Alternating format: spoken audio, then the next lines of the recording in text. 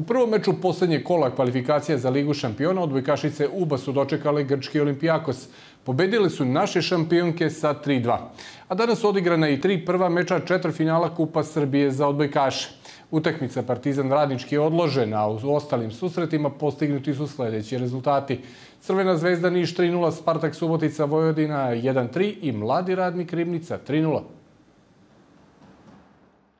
Silovito su šampioni otvorili meč gde su gotovo bez greške u prvom setu imali i prednost od 9 poena, tako da su prvi deo igre ukončali sa 18 naprema 25.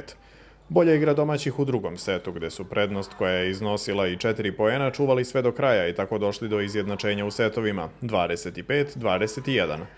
U istom ritmu nastavili su i u prvom delu trećeg seta gde su imali i plus 4 da bi nakon timeouta Vojvodina počela pre svega dobrim servisima da topi prednost tako da je treći set ušao u neizvesnu završnicu gde je više dobrih rešenja imala Vojvodina i dobila treći period igre na razliku 24 naprema 26.